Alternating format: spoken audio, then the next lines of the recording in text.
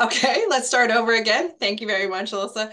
Um, okay, so I did hit record and we have someone who's going to be letting people in so that I don't try to do uh, two things, drive the show and try to let people in at the same time. So I will start over, take two.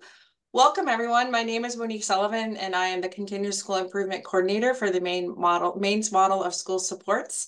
Uh, before we get started, if everyone could just put their name and their role in the chat, because we do use that as a way to just keep track of who's coming um, to these as a part of our support.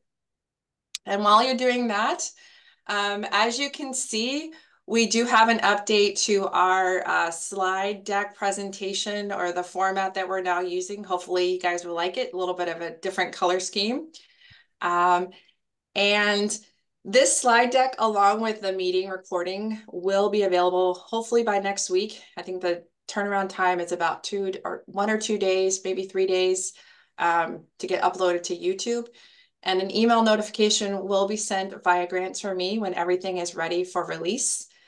And if you miss the email or it gets lost in your inbox, you can just go ahead and check in the history log in your FY24 SIG application because all the correspondence sent to schools and SAUs through Grants for Me, it's being stored in the history log. We now have a little box that we check, so you can go back there and look at your history log if for some reason you don't get that email.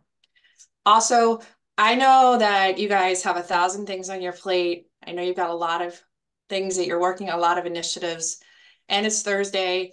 Um, and I know some of you guys had a, late start today. So um, I'm going to try to make this as short as I can. Um, and you might notice some uh, pagination, like why did it go from slide seven to slide 10? Um, because when I was working on the on the, the slide deck, I had a lot I wanted to put in there, but in the end, I was like, they don't want to hear all this. So when I send out the slide deck, you'll get the full slide deck, but for the presentation, I'm gonna I cut some things out just so that we can keep it. Um, I'm hoping like 30 minutes, and then you guys will have time to give us some feedback at the end, and then also um, ask any questions that you may have. Okay, to get started. So the agenda today is um, updates, the grants for grant requirements, um, which I did at the last meeting, the year at a glance, continuing on with February, um, and that what you should be doing in your leadership team meeting if you're following the year at a glance, which would be mid-year updates and celebrations. Um, any kind of, and the next meeting, it's kind of a preview of what we're going to be doing at the next meeting in March. Um, and, and then the opportunity to give us some feedback. And then uh, again, we'll have resources, contact information, and opportunity for you to ask us any questions that you have. And I say us, but it's really just me at this point. So um, I'll try to use I instead of we. Okay, so updates. The ESSA dashboard went live on January 29th with the FY22-23 data. So hopefully you've had an opportunity to look at that data um, and share it with your um, leadership team and your staff. Um, in addition to the FY22-23 data, also we, we added under the, there's a little box that says Maine's model school support. And that's where we put in all the tier three allocations. So all the funding that tier three identified schools received for SIG money for FY24, we put that also in there along with the the strategies and interventions that are being used with the SIG money that were identified in the FY24 application.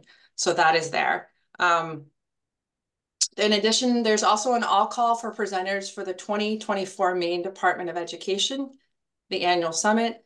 It's August 6th through the 8th. And, um, and I will put the link in the chat so you guys can look at that too, if I have it here.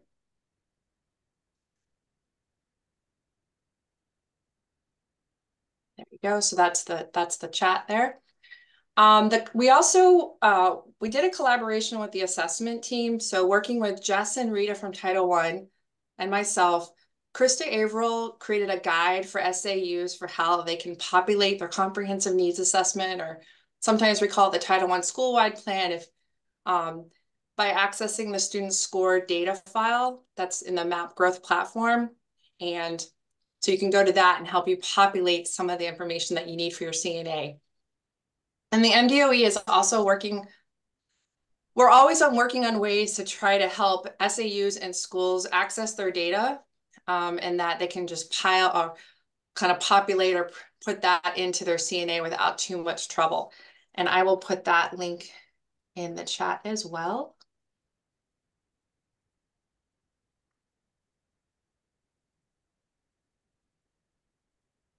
So in the chat right now is the link to the Maine Educators Summit, uh, the all call for presenters, and then also the document that Krista Averill worked to try to help schools use their um, NWEA data or Maine three years through year assessment to populate some of their CNA data that's um, in the CNA. Um, there is no update on Maine's model of school support identification timeline for right now. We were hoping it was going to be sometime in March, but we're not really sure when that's going to be at this point. So there's that's still uh, to be determined. Um, we're still calculating the data and we're still waiting for to hear back from the Department of Education regarding the amendment. Um, and then there's no update. I know Cheryl Lang was the coordinator. Um, she did retire in January. So we don't have an update on that position. And then I just wanted to, I threw this in here last minute because um, FY23 SIG funds, they are, that period of availability is running out on 930. That has a Tydings waiver, so there will be no more extensions for this funding. And we ran a quick report, and at this point, only 38% of that money has been invoiced or drawn down. So we're really encouraging schools that if you have obligated those funds, those FY23 SIG funds, um, get those invoicing, that invoices in. If you can work with your business manager, try to get those invoices in.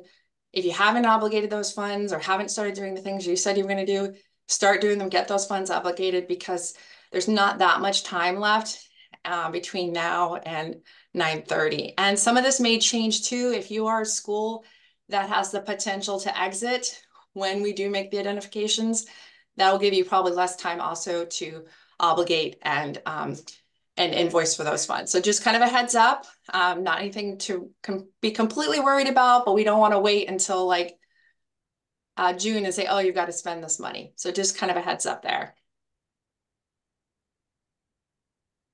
Okay, so before I get on to the next slides, which would be about the grant requirements, I wanted to stress that the reason why I'm bringing these into these meetings, uh, kind of about the grant requirements, because I've heard frustration from our principals and from some of the coaches uh, that are um, communicating what some of the principals are feeling, that some of the applications are getting sent back um, as not approved or needing more detail. And some of that reason is because of the grant Last time, last meeting was more about um, just the requirements that the SIG application requires based on statute. And today is more of just general grant requirements um, or specific to SIG. So just to kind of give principals a little bit heads up about that because some of you guys wear two hats. Some of you are ESEA coordinators and some of you aren't. So this grant, federal grant world can be a little um, confusing or you may not understand it. So to start off first, I just wanted to do some just general grant uh, terms uh, to give you kind of an idea just generally how grant funds work within federal funds. So there's reasonable, necessary, allowable, allocable, documented, and neutral. And these are the terms you're going to hear a lot with federal funds. So regardless of what federal fund we're talking about. Neutral doesn't really apply much to SIG money, but I wanted to throw it in there, and that is that all your all costs have to be secular and non-ideological in nature. And then documented, everything has to be documented. Sometimes we ask for that documentation in the application, and sometimes we're like, just hold on to it, keep it at your school site or your SAU site, um, and we may ask for it later. And then to reasonable and necessary, a lot of times those go those go hand in hand uh, reasonable that it's not excessive and based on prudent purchasing, and then necessary, essential for carrying out resulting programs and services to meet student needs. A lot of times those two go together because something may not seem reasonable, but if you can show them the, the, the necessity of it, it can change it to become reasonable. Um, and this is kind of a far out example, but if you want to send your entire staff to Hawaii for a conference, that doesn't really seem, that might not seem reasonable. Uh, maybe you could send your staff to a conference in Boston or maybe you could send half your staff to a, a conference in Boston and then do a train the trainer model. So sometimes when I provide feedback back, I'll feedback, I'll say, hey, can you explain how this is a reasonable and necessary to be able to uh, carry out the programming you need in your plan? So like you have to do this because if you don't, you won't be able to carry through with your action step. You have to send your teachers to this training so that you can carry through with your action step and therefore be able to continue on with your plan or implement your strategic plan. Allowable, those costs must be allowable for, for this one is for, for specific school improvement grant funds which I'm going to talk about on the next slide. And then allocable, um, this one's always a little more confusing. Um, you think allocable and allowable sometimes are the same, but allocable really is about if you have multiple funding sources and you have a person that's being like funded with multiple ones, you want to make sure that that the part that's being used for SIG funds is dedicated to SIG activities that are approved in the application. And the reason why I bring this up is because I just recently had a school that um, told me that they had a consultant, outside consultant that they were working with, but this outside consultant was doing work in the district as a whole. And I said, well, you want to make sure that the part that you're using SIG money for is just with SIG activities or approved activities that were in the application. So that's where the allocable comes in. And then of course, there's the documentation again, um, you want to make sure that you're documenting this as well. Sometimes, again, we, we ask for it to be put in the application, and sometimes we'll just say, hold on to it in case you get audited or we request it. So again, these are very common terms in federal programming um, and with federal funds.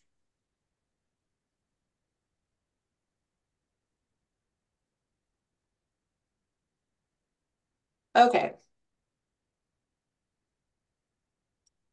So the next one um, really talks more about allowability and the grant award notification actually kind of puts in there what the terms and conditions are for this grant. And for some of you, this is this is you know very um, you know what this is about. But for the others of you that have never seen a grant award notification, I thought I would throw this in there. And again, so I put this in there because um, sometimes people aren't really clear about why things get sent back and where the basis of it is. So I'm trying to provide that background for you, for those of you who need it. Um, so in the grant award notification, it says these, these program improvement funds are intended to be used for the organization and active functioning of a leadership team, approved leadership team meetings, and a professional learning opportunities for staff members. And we have a bunch of examples that are listed as well. Um, so that's where that connection is. So sometimes when I provide feedback, I'm like, hey, can you connect this back to the allowable uses uh, for school improvement funds?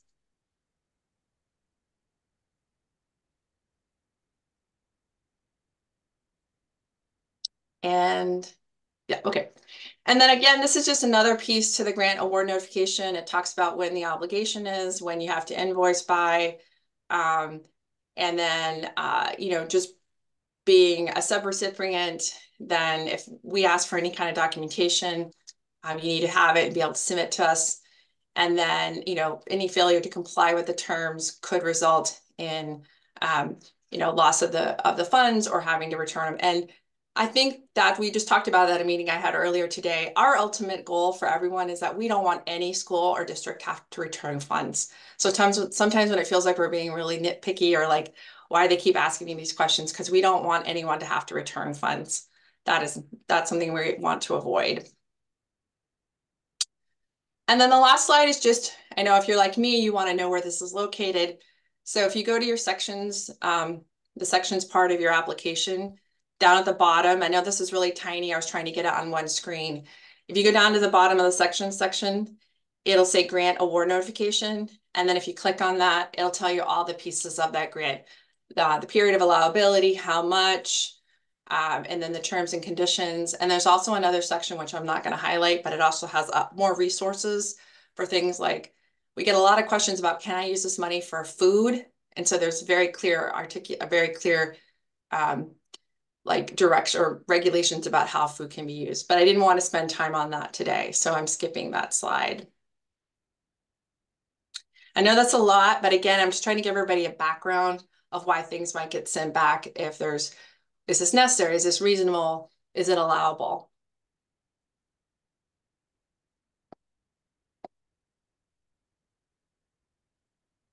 Okay. So outside and external consultants, I did mention this at the last in the January meeting uh, because it was a lot of a lot of questions were coming up, a lot of uh, clarifications were needed for uh, for our schools. So I just want to bring it up again um, that you know you want to make sure that you have a rigorous review process. Uh, we're not going to tell you what that looks like, but it should align with your SAU procurement policies and or the uniform grant guidance, which is 2 CFR 200.320. Um, and you're going to want to use whichever policy is more stringent. Now, I know many of you, almost all of you are principals, and that's the hat you wear. So the first thing I would say is go to your superintendent or go to your uh, your business manager. The SAU is the fiscal agent for this for the SIG money, so they will be able to help you with that. Uh, but I do want to tell you that I did have a school reach out to me and ask me for some assistance. And I went onto their district website. I went to their local board policies and there in their local board policies, they had several procurement policies. One was specific to federal funds and it was almost verbatim what was in 2 CFR 200.320. So um, most schools, I think all school districts have these policies. Um, as a principal, you may not know them because it's not really in your, not really what you do all the time, but reach out to your superintendent or and or business manager, whichever person um, has been designated for that. And then we are asking for contracts to be uploaded um, to the application because there we can see to make sure that the costs are reasonable and necessary, that they align to the plan, um, and that they are meeting um, the uniform grant guidance. So again, none of this is meant to stress people out. It's just to give them a background knowledge. So if questions come or some feedback comes, you have a better background knowledge of why And the same goes with professional learning. Um, this is an area that was kind of pointed out to us um, at the audit, the federal audit we had back in May, last May.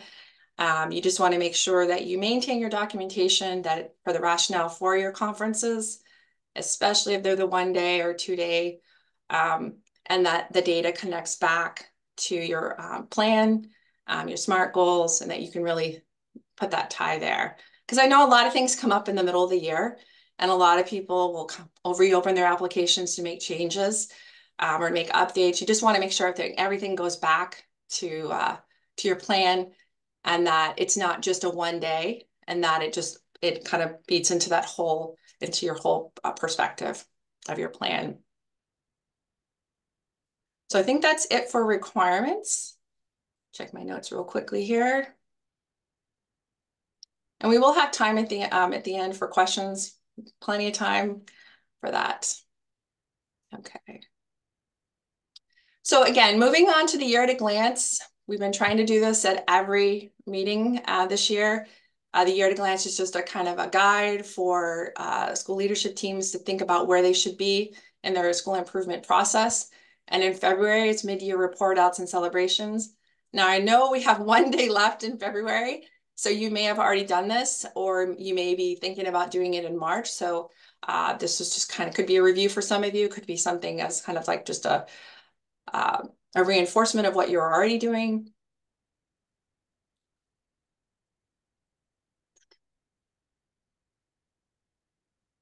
just getting caught up with my notes. So at the December meeting back, um, yeah, the December meeting, we presented uh, a template for a leadership team, uh, leadership teams to use as a, their agenda template to make sure that they're using, they're talking about the pieces that we know the evidence-based practice has shown is effective for school improvement.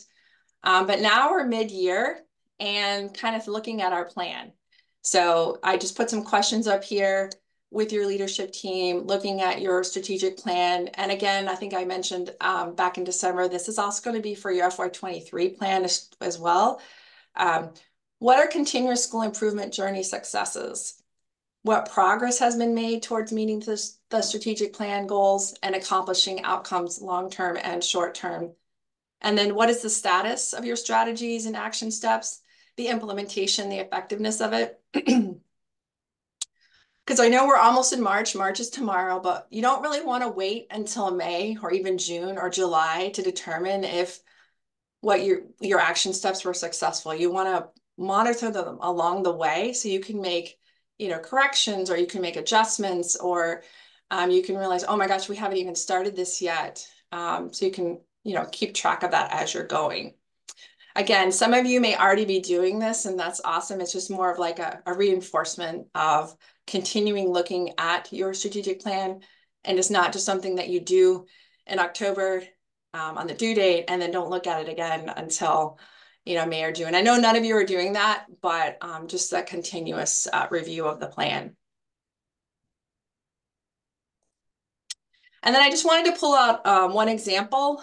Um, and I know that there's a lot of different activities that are being done with SIG funds, but I think the majority of it is professional learning because that's really what we wanted these funds to be used for, to be sustainable, to build capacity of our uh, the staff in the schools. Um, and that really is what we're trying to use with SIG funds is to build capacity of the leadership teams, to build capacity of the staff in the schools, to build sustainability. So when these funds are no longer available, that the continuous schooling process can continue.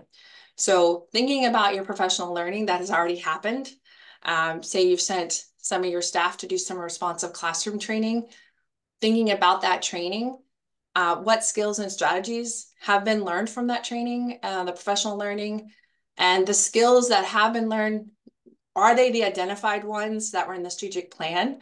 Um, to what degree have these skills and strategies been implemented or used thus far? So we went to this training back in November. Have we done anything with it? Um, and then is it being measured? Uh, how's the implementation of these skills and strategies being measured, aligned to the strategic plan goals? And has the instructional practice changed due to the training or professional learning? How? And then what data supports that response? Um, I do have a few more slides, but I'm not going to show them. Um, but, you know, but the, this could be the same with the book study, um, with uh, a consultant. A lot of schools are using consultants. Um, is the, the work that the consultant, um, you know, said they were going to do, is that having the impact? Um, is it addressing the, the identified needs? Um, so kind of looking at that. You don't want to wait till the end of the school year to determine if the consultant's work was impactful or effective or helped align, align back to your strategic plan. And then next steps. So once you look at your action steps as a whole, you know, is the strategic plan effective? What's working? What's not working? Um, can the plan move forward because progress is being made? Does the plan need to be updated? Do action step strategies need to be adjusted? Um, do SMART goals need to be updated? And then once you answer all those questions or think about those questions, what data supports the responses to these questions? So you may be able to say, yeah, it's working, but what's the data to show that it's working? So these are all questions to think about, um, you know, mid-year. Now I know we have more, we have more months behind, you know, behind us than we have ahead of us. So it's probably a little bit more than halfway through the year. Uh, but this a lot of questions to think about on the effectiveness of your plan. And then lastly, I just wanted to say that it was very timely. I had a conversation with a principal yesterday and she was talking about revising her FY23 SIG application. And I said, do you mind if I quote you? Now, I paraphrased it just a little bit, but I just thought it was really, it just really connected well with what today's um, kind of content was going to be. And she said, we decided to revise our FY23 SIG application because our action steps didn't really align with our goals. And we aren't doing what our plan said. With the updates, our action steps are more aligned with our strategic plan goals, and there is also more alignment with our MTSS work.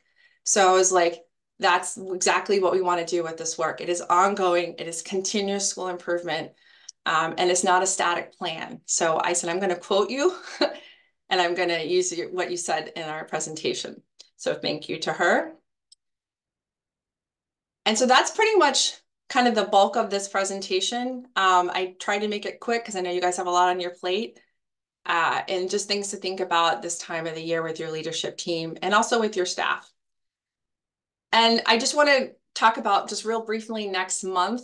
Um, so if you go back to the year at a glance, March is to revisit and update the CNA and root cause analysis. So for next month, I want to really focus on revisiting the comprehensive needs assessment. I say the Title I school-wide plan because they are pretty much the same for tier three schools because um, you operate a Title I school-wide plan, or operate a Title I school-wide, um, you operate a Title I school-wide program. And so rather than have two separate plans, they're just one plan together. There's a comprehensive needs assessment. And then really trying to make those connections with other um, initiatives and programming that's happening in your school. Um, you have another ESEA consolidated app that your district has. You have other grants that are happening. There's a literacy grant, just to name one. Um, you have a, other programming, MTSS, PBIS, BARR. I'm sure I could list a whole bunch more, but really trying to help make that those connections and interconnections with that the SIG is not just one more thing, that it's connected with everything else that you're doing in your school. Um, and so that there's a lot of crossover. So that's my hope that we can explore that uh, more next month. And that is it. There's the professional learning. I can put that in the chat. If you guys don't have that link, me put that in there. These are all of the trainings that are happening at the department.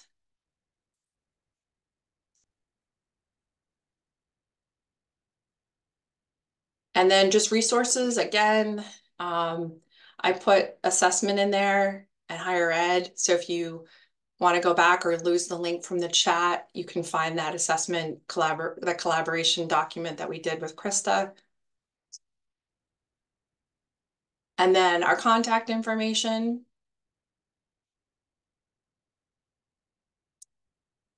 And then I'm going to mention this. I'm going to go and then I'm going to go to that slide so you can, or go to that uh, Jamboard. So we really want, that's why I'm giving some time now at the end, because we want to get your input on support being provided for schools identified for tier three supports or CSI. Um, we want you to take a few minutes to complete the questions. There's only two, and I'll show that in a second. I'll put the link in the chat. Um, and then another survey, hopefully will going out. I'm hoping in March, um, will ask a little bit more progress on your strategic plan and maybe a little more detail about the supports um, that are working and are not working. And then at the same time, while you're doing that, we are going to have time for questions or any thoughts that you have. So you can work on the uh, on the Jamboard, the two questions, which I'll go over in a second. And then you can also feel free to unmute yourself or use the chat to ask questions.